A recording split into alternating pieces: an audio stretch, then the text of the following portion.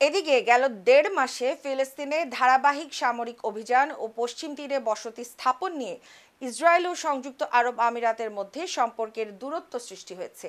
এরই জেরে ইসরায়েলের কাছ থেকে প্রতিরক্ষা ব্যবস্থা কেনার সিদ্ধান্ত বাতিল করছে সংযুক্ত আরব আমিরাত।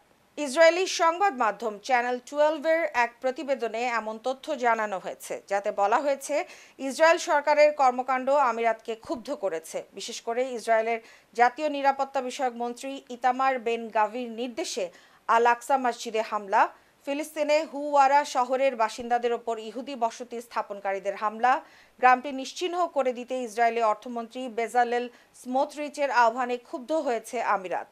জানা যায়, সম্প্রতি আমিরাত সফর স্থগিত করেন ইসরায়েলি প্রধানমন্ত্রী বেনিয়ামিন নেতানিয়াহু।